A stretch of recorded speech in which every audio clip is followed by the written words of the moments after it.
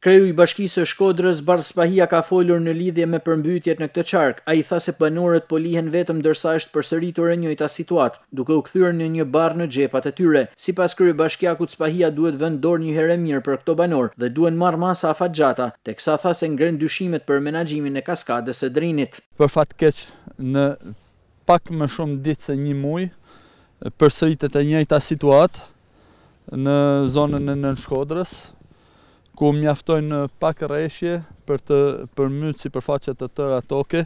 Mjaft është mjaft, kur thonë.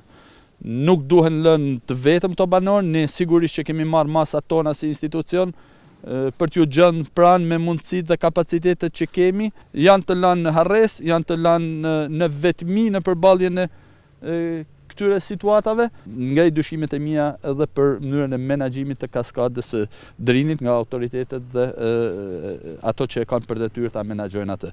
Ndërkohë kreu i Njësisë Administrative Ana e Malit Arben Ceni ka thënë se situata është përkeqësuar dhe se kjo gjendje po kalon në krim. Situata në Njësinë Administrative Ana e Malit është shumë e përkeqësuar. Kemi një sipërfaqe të tokës të përmbytur rreth një mijë hektarë, Në këto momente mund të ketë kaluar edhe më tepër.